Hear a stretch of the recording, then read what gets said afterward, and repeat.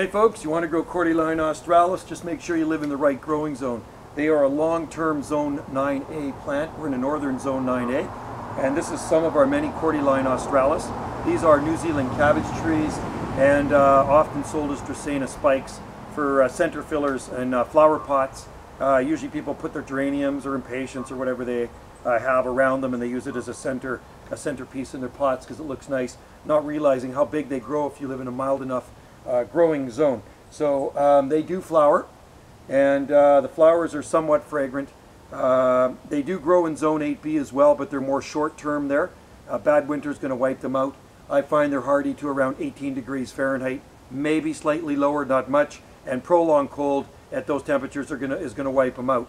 Uh, one night of 18 degrees Fahrenheit, and then it jumps back up to uh, above freezing, probably won't be so bad. But if it drops down to 18 degrees Fahrenheit, and then your low temperature and your high temperature is in the 20s, that's bad for them. But uh, they're a beautiful plant, and uh, they do grow big. They'll grow 30, 40 feet tall. Uh, there's really big ones on the far west coast, all over the place, on the Pacific coast of Canada. And there's some very large ones here also in private gardens. I find the biggest ones here, the tree size ones, are growing right down by the water, where it never really gets that cold in the winter. And our temperatures here, very rare to ever go below 20 degrees Fahrenheit or minus 6.5 in a bad winter. These are growing under some big trees, so it's kind of bending for the light, this one. It's kind of funky.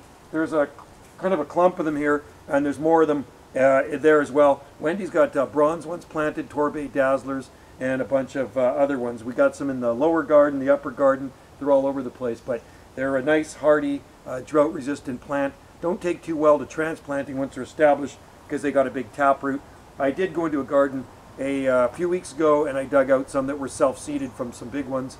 And uh, it looks like they're still kind of hanging in there. One of them kind of did a little bit of a flop, but I've been watering them and it looks like it's kind of perked up a bit, so fingers crossed. So anyway, these are a dime a dozen. Every nursery here sells them. All the grocery stores sell them.